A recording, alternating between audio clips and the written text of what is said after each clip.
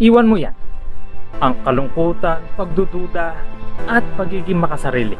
Mga paninira, pambabastos, at pagmamataas sa iba. Ang kayamanan at anumang ari-ari ang umaalipin sa'yo.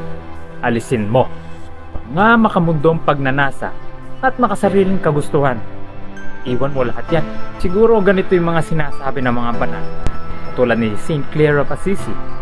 Kung saan iniwan niya lahat, maging instrumento lang ng may kapal.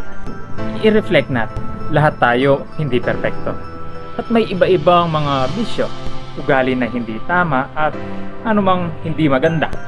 Naway mauntog ang mga ulo natin at makapag-isip